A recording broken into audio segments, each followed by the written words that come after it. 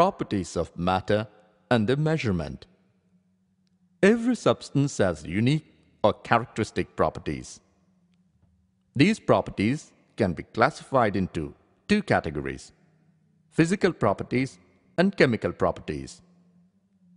Physical properties are those properties which can be measured or observed without changing the identity or the composition of a substance. Examples color, odor, melting point, boiling point, density, etc. Chemical properties. Chemical properties are characteristic reactions of different substances.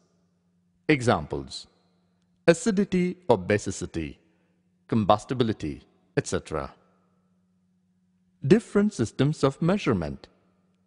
Many properties of matter, such as length, area, volume, etc., are quantitative in nature. Any quantitative observation or measurement is represented by a number followed by units in which it is measured. Example Length of a box can be represented as 6m.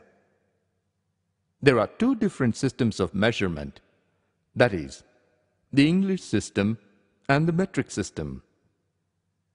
The International System of Units, SI.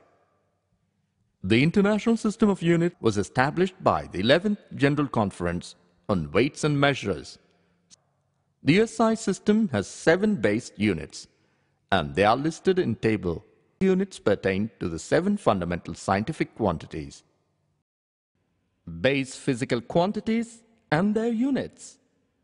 Base physical quantity, symbol for quantity, name of SI unit, symbol for SI unit.